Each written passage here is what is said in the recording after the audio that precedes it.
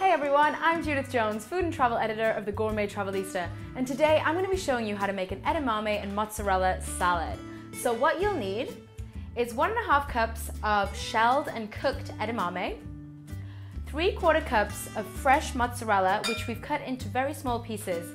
Now, um, small uh, mozzarella balls will work great too. Three tablespoons of sesame oil, one tablespoon of soy sauce, one tablespoon of sesame seeds, and salt to taste.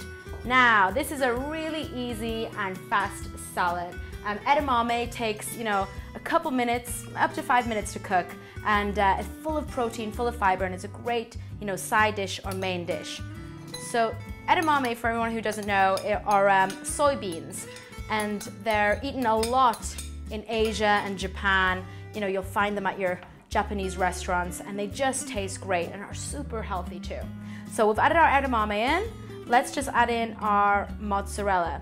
As I said, if you have small mozzarella balls, they'll go great with that. Aesthetically look really good. Let's just fold all that in. Now, let's put in our sesame oil. These Asian flavors, these sesame soy oils go great with edamame, so that's why we're just gonna dress the salad with that. Lovely. And our soy sauce right here. Let's just get that all there. A pinch of salt because edamame should always be eaten with some salt. Not too much because we've got it in the soy sauce. Let's just fold and stir that in there. Wow, that looks great. And then last but not least, we're just gonna sprinkle our sesame seeds on top.